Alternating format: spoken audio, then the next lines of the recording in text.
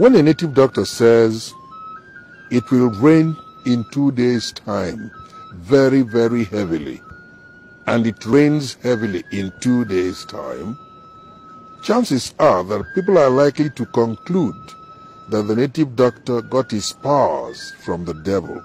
But when a meteorologist says it will rain heavily in the next two days, and it does, the same people will say, "Mm, well, he studied it, right?